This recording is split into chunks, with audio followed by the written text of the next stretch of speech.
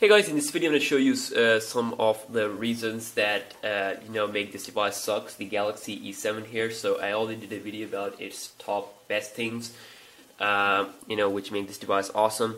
So yeah, just quickly start off this video with the reason number one that why it sucks is that um, the GTA games here, the GTA San Andreas and the GTA Vice City is still not being optimized here and yeah a lot of young audience out there do do enjoy playing games on their phones. And um, and yeah it is really not that good here in terms of these two games. If you if you have seen my gaming test then you know that also. So uh, yeah it, it is not good in terms of the uh, GTA games. They lag a lot. So it's been like a year has been passed since the Snapdragon 410 has been introduced. And still these two games are not optimized or uh, you know, or if maybe the Snapdragon 410 is not capable to you know load uh, that much graphics. So yeah, that is the number one thing that uh, this device sucks at.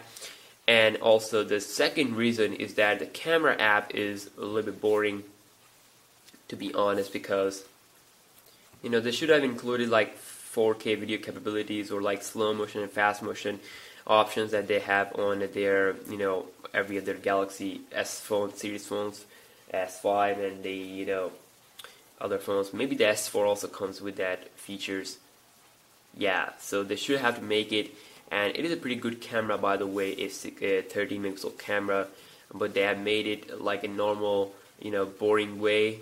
So they have changed it in the Galaxy S6, but I don't really like it. And you know the Sony's uh, experience like I did a comparison so you can check that out on my channel. So Sony's camera experience looks really great the way that you, you know they show you the features and their briefing and everything so that looks really awesome.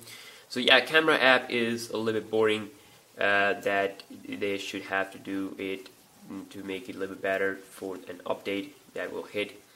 And uh, yeah let's just move on to the third reason and the third reason is why this device sucks uh, a little bit is that it is um, not coming with a lollipop update. A lot of people are waiting, including me. And Samsung should have to, you know, bring out the update for these devices. And what I probably know here, because I make a lot of news type videos. If you are subscri- if you're my subscriber, you already know that I made a lot of news videos and still I haven't seen any news update for this device here.